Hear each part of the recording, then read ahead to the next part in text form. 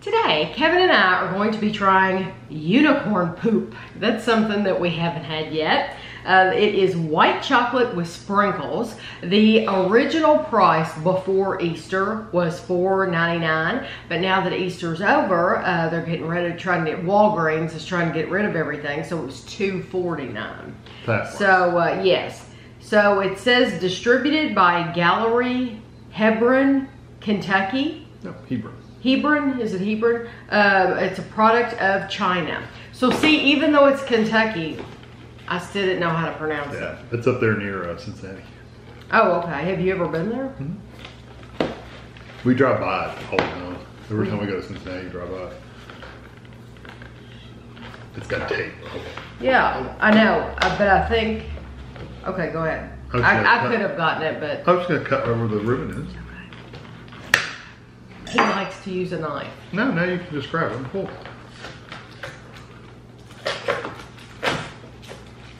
Oh, Easier. He and Andrew like any excuse. Yeah.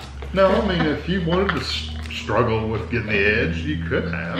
I love it that you get the, you get a little ribbon. So if you want to keep the ribbon, you can. That is a perfectly good purple ribbon. Nothing wrong with that at all. Hair ribbon. That's about the size of a good hair ribbon. It is. Oh yeah, it's perfect. Three servings are in the container. One third of the package, 25 grams, is 130 calories. Or you can eat um, the entire thing for 390 calories. So let's see how it looks. There's a ring on the top to keep it protected. And It looks like a swirly. yeah, That has to be hollow. I don't know if it's hollow or not. So the, the website is Yeah, Ga- that's hollow. galeriecandy.com. It's G A L E R I E candy.com. You ready to break it? Yes. Ah, it is hollow. It didn't say hollow, it just said white I figured it chocolate would be. It's too light to be to be solid. But I love the colors.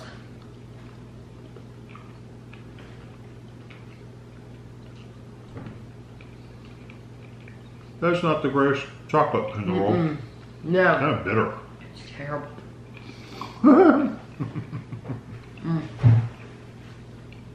I hate to even swallow it. It's slow to get the flavor out of your mouth quicker. Um, That was like one of the worst white chocolates I've ever had in my life. it is. Yeah, that is a horrible, horrible white chocolate. Whoever makes Um, that should be beat with a stick.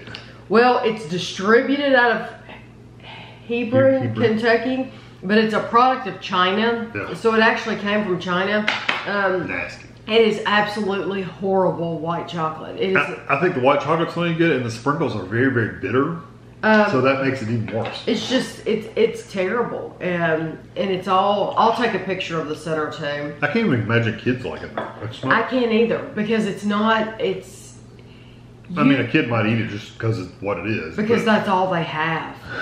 um, but it's not sweet. It's very, very, very bitter. It's nothing that white chocolate should be.